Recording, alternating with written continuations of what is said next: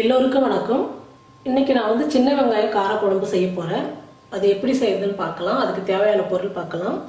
பாருங்கள் சின்ன வெங்காயம் நான் ஒரு கால் கிலோ வாங்கிட்டு வந்து தோல் உரித்து நல்லா கழுவி சுத்தம் பண்ணி எடுத்துக்கிட்டேன். பூண்டு சின்ன சின்னதாக எடுத்துக்கிட்டேன் நான். முழுசாக போகிறதுனால சின்ன சின்ன பூண்டே ஒரு இருபது பூண்டு இருக்கு நான் எடுத்துக்கிட்டேன். ரெண்டு வரமிளகா கொஞ்சம் கருவேப்பிலை ஒரு ரெண்டு தக்காளி வந்து விழுதாக அரைச்சி எடுத்துக்கிட்டேன். ஒரு சின்ன நெல்லிக்காய் அளவு புளி கரைச்சி எடுத்து வச்சுருக்கிறேன். ஸ்டவ் பற்ற வச்சு கடாயை வச்சுட்டேன் கடாயை நல்லா சூடேறிடுச்சு. இப்போ நல்லெண்ணெய் ஊற்றிக்கலாம் இந்த சின்ன வெங்காய காரக்குழம்புக்கு நல்லெண்ணெய் ஊற்றி செஞ்சால் அவ்வளோ டேஸ்ட்டாக இருக்கும் ரொம்ப நல்லாயிருக்கும் நான் ஒரு நாலு ஸ்பூன் ஊற்றிக்கிறேன் எண்ணெய் நல்லா காஞ்சிடுச்சு. இப்போ கடுகு போட்டுக்கலாம். சீரகம் ஒரு கால் ஸ்பூன். வெந்தயம் கொஞ்சம் போட்டுக்கலாம். வரமிளகா ரெண்டு. இப்போ பூண்டு போட்டுக்கலாம்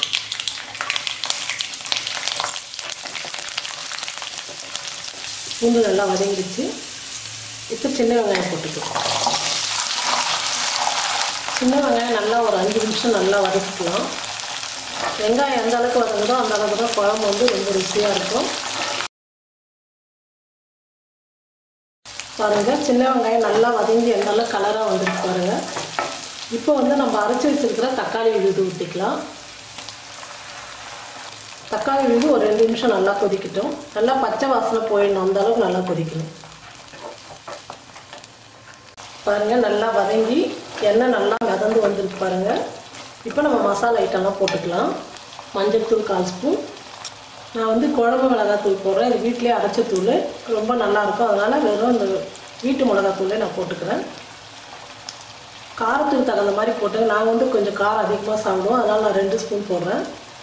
சின்ன வெங்காய குழம்புக்கெல்லாம் புளிப்பு காரம்லாம் கொஞ்சம் அதிகமாகவே இருந்தால் தான் சாப்பிட்றதுக்கு ரொம்ப நல்லாயிருக்கும் எண்ணெயிலே கொஞ்சம் நேரம் வதங்கட்டும். இப்போ குழம்புக்கு தேவையான அளவுக்கு உப்பு போட்டுக்கலாம். நல்லெண்ணெயில் செய்கிறதுனால இந்த குழம்பு வந்து உடம்புக்கும் நல்லது. நல்லெண்ணெய் சின்ன வெங்காயம்லாம் வந்து சூட்டை வந்து ரொம்ப குறைக்கும். இந்த மாதிரி வாரத்தில் ஒவ்வொரு நாள் செஞ்சு சாப்பிட்டா கூட உடம்புக்கு ரொம்ப நல்லது. மசாலாலாம் நல்லா வதங்கிடுச்சு. இப்போ புளி கரைசல் ஊற்றிக்கலாம் தேங்காய் வேணுன்றவங்க தேங்காய் பால் மட்டும் ஊற்றி செய்யுங்க. ரொம்ப நல்லா இருக்காதும் கொஞ்சம் தண்ணி ஊற்றிக்கலாம் நம்ம புளி ஊற்றிருக்கிறதுனால அந்த பச்சை புளி வாசனைலாம் போய் நல்லா கொதித்து எண்ணெய் நல்லா மேலே மிதந்து திக்காக வரல குழம்பு. அப்போ தான் ரொம்ப டேஸ்ட்டாக இருக்கும். பாருங்கள் எவ்வளோ தண்ணி வச்சுருக்கேன் இது எல்லாம் சுண்டி நல்லா கெட்டியாக வர அளவுக்கு நல்லா கொதிக்கணும். ஒரு பத்து நிமிஷம் நல்லா கொதிக்க வச்சுக்கலாம். பாருங்கள் சின்ன வெங்காயம் குழம்பு நல்லா கொதித்து எண்ணெய்லாம் நல்லா மிதந்து மேலே எவ்வளோ நல்லா கலராக வந்துருக்கு பாருங்கள் சூப்பராக வந்திருக்கு சின்ன வெங்காயம் காரக்குழம்பு இப்போ நம்ம கருவேப்பிலை போட்டுக்கலாம்.